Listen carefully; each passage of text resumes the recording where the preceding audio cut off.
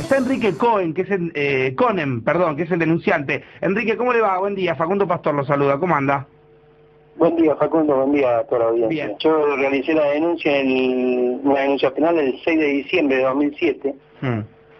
por unos videos que estaban colgados en, en YouTube, en Internet, donde se veía claramente que retiraban dinero en una mochila, así la sacaban, digamos, caminando, ¿no? Sí.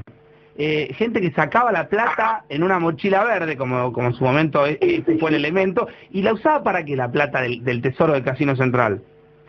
Bueno, ese, ese arqueo, digamos, era para transmitir una cierta transparencia al recambio gubernamental. Claro. Finalmente lo que, lo que sucede esta semana es que la justicia rechaza el pedido, hay imputados en esta causa, ¿no? quedaron como responsables, máximos, digamos ahí, Gustavo Adolfo Menéndez y el jefe, un jefe de administración que se llama Enrique de Luca.